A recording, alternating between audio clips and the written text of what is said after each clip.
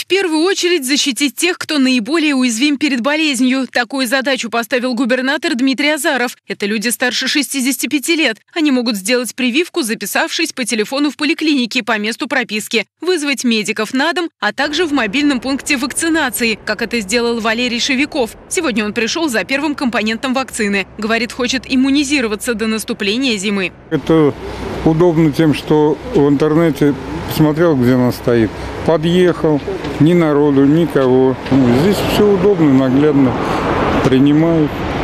Все отлично. Я думаю, что вот за такими пунктами э, будущее.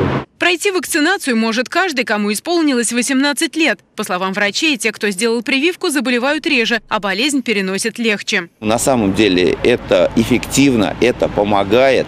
И только тотальная вакцинация, как минимум 80% взрослого населения города Чапаевска, поможет нам остановить эпидемию, ну и сохранить здоровье и, самое главное, жизни наших жителей. Сделать прививку можно и в круглосуточных кабинетах, которые работают в Самаре. Привить 80% жителей области такая задача стоит перед медиками, чтобы остановить пандемию. Пока же уровень заболеваемости высок, и чтобы сократить риск встречи с инфекцией, риск тяжелых осложнений и госпитализации, нужно прививаться. А тем, кто сделал первую прививку полгода назад, задуматься о повторной. Соблюдение масочного режима тоже поможет уберечься от болезни. Не стоит пренебрегать этой профилактической мерой. Виктория Шарая, события.